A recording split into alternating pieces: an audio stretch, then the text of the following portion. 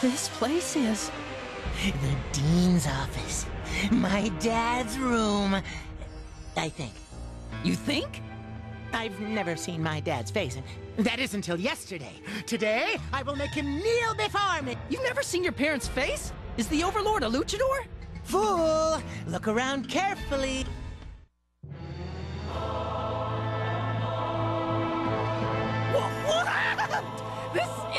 Overlord's hand? Exactly. He's so far away, I can't even see what his face looks like. All right. And then there's the fog. Even on a sunny day, I still don't think we'd be able to see it. Wait, that's not fair. He's too huge. If he makes a fist, we'll all be dead instantly. There's no way we can win. We have to run away. There's no need to run. Believe in my power, a hero's power. But it was originally my power, and that's more the reason why I can't believe in it. It's been a while, hasn't it, Dad? I don't even know if you can hear me, but I'm gonna say this anyway. I see through your moves. Dad, you're already dead. Here I come. Take this for those hardcore hours of data you've killed!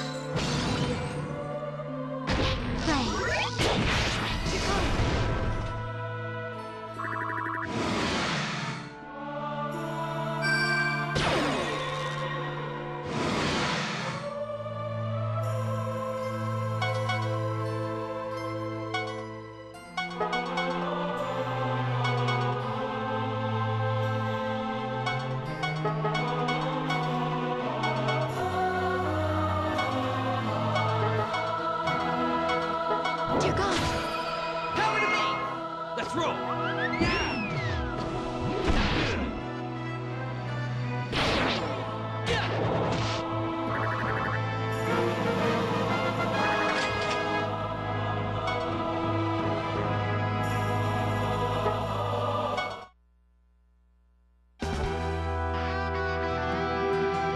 It's me, Almaz, the superhero who's come to punish the Overlord. You lost pretty easily for a superhero. You might think so, but the true battle begins now! When a hero's in danger, they unleash their true powers! Well, that's convenient. Though normally calm, Almaz the hero's anger rises to defeat the evil Mao. Everyone, lend me a bit of your courage! Don't say that! Next time on Nether Hero Almost Z! Final episode, the end of Mao. It'll go on for just a little longer. I won't accept an ending like that. I'll even start a petition.